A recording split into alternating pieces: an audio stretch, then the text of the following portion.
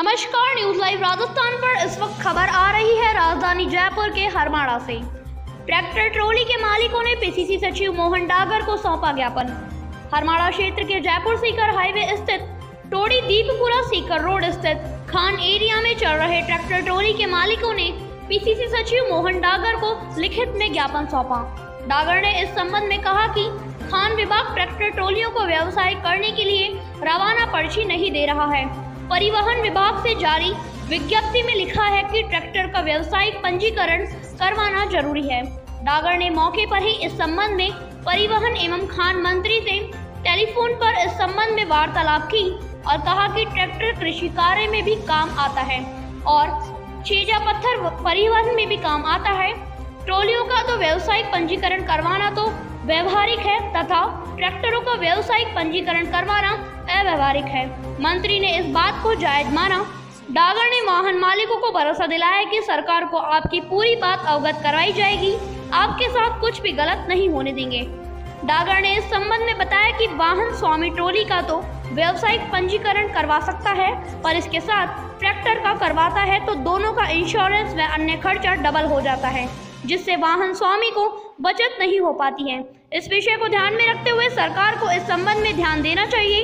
इस नियम को लागू होने के बाद हज़ारों लोग बेरोजगार हो गए हैं। इस मौके पर संजय चौधरी, मुकेश गुजर, दीपपुरा सुरेश शर्मा, हंसराज चौधरी, लक्ष्मण बैरवा, भंवरलाल गुजर, शिवराज उदय, उदयपुरिया सहित अन्य लोग मौजूद थे।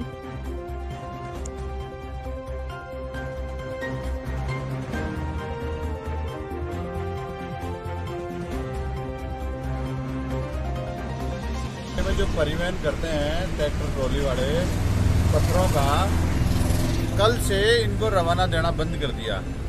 तो सब लोग इकट्ठे होके आए कि साहब, हम ट्रैक्टर जो ट्रॉलियाँ हैं हमारी, उनको हमने पहले से कॉमर्शियल करा रखा है और ट्रैक्टरों को कॉमर्शियल नहीं करवा सकते, क्योंकि ट्रैक्टर ट्रॉली ट्रैक्टर तो हमारे खेती में भी काम आते हैं, इन सब लोगों का कहना है। और ये बात भी सही है तो मैंने परिवहन मंत्री से बात की, प्रताप सिंह खतरेवाल जी से। तो उन्होंने कहा कि हमारी सरकार ने इस प्रकार का कोई ऑर्डर नहीं निकाला है कि ट्रॉलियाँ तो पत्थरों में जो काम आती है, वो कॉमर्शियल है, लेकिन ट्रैक्टर को कॉमर्शियल कराने का कोई ऑर्डर नहीं निकाला है।